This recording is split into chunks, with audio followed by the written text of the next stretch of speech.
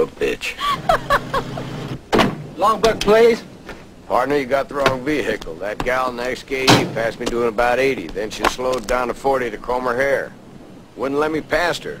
I'm citing you for 11 miles over the speed limit and reckless driving. Hell, that's a $100 fine. Surely is. Well, hell, it was worth it. What was worth it? That gal in the XKE doesn't have any pants on, man. I took a look down and bingo, there it was.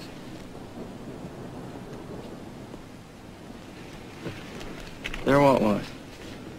Didn't you hear me? She doesn't have any pants on. Look at her. She's just waiting there. No panties or anything? Nothing.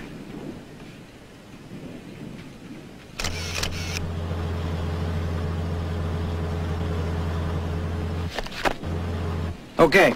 I'm gonna let you off with a stern warning. You watch yourself, you hear? Yes, sir.